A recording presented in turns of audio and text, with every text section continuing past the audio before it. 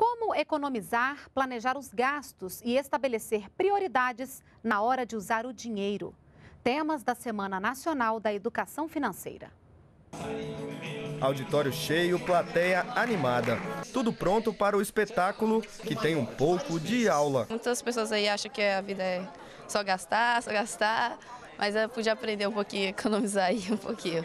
A apresentação é uma das atividades da Semana Nacional de Educação Financeira, que acontece em várias cidades do país.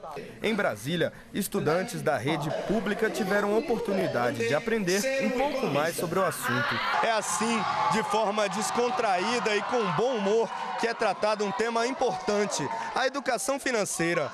Como economizar, planejar os gastos, estabelecer prioridades.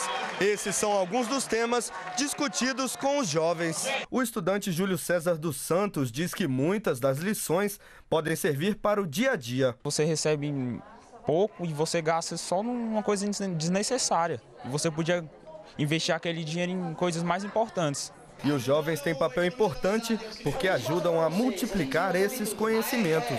Outras atividades, como seminários, apresentações e jogos, acontecem em 10 capitais do país e para vários públicos.